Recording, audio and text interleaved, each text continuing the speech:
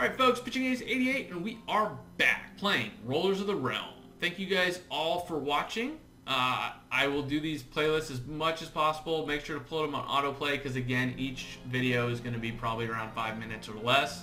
Just kind of showing you guys each and every little section of this.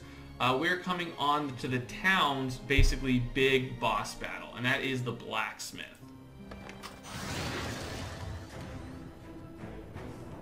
What are you after now, old man?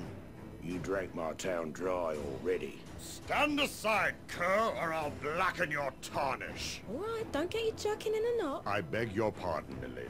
You have my dog, and I would like him back, if you please. Your dog? You mean my supper? I'll feed you my boots instead. Oh, you can try, little one.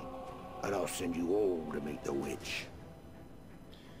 Alright, so the strategy for this one is going to be to unlock the dog and then use the dog on the blacksmith. So, as you can see, blacksmith really doesn't take that much damage from the knight. So you get rid of the dog though, and oh my goodness, the dog basically gets him all worried and stuff. The blacksmith's afraid of the mutt. Get him back in the fight. Yeah, yeah, I get it, I get it, okay? So essentially, you don't actually even want, It's the kid, eh? Get him, boy. Cool it off. you don't even want the knight in this, really.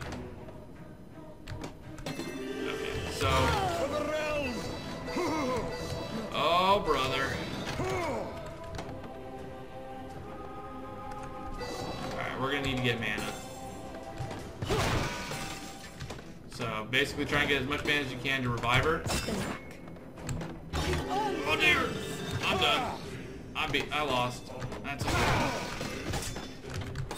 So, unfortunately, this is gonna take four. Iron flippers. Sweet.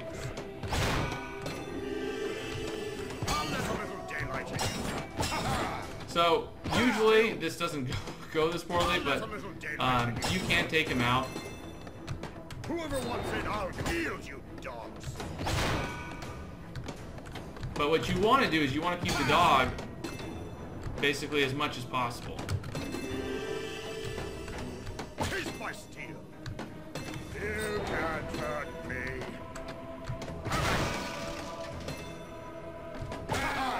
But the great thing about this guy is, Whoever wants it, I'll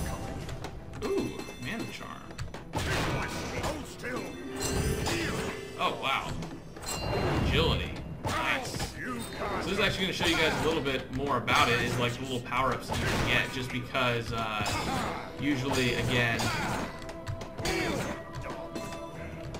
let's see, let's see if we can get that blue power. Yeah, mana charm.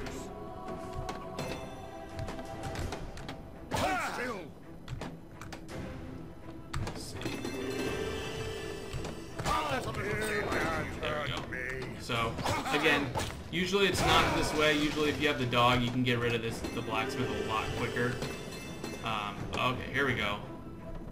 Now we can revive, Rise, my friend. which is actually really I'll let a nice. little daylight in you. Not gonna let them go out just yet. Just gonna wait. Ancient, Now we only have the healer. Okay, so Rise, my friend. Him, boy. there we go. Sick 'em, boy. Nice. Too quick for ya. There we go. Now you'll see. Now you see him really get kind of taken out. Cool it off. Nice, thousand baby.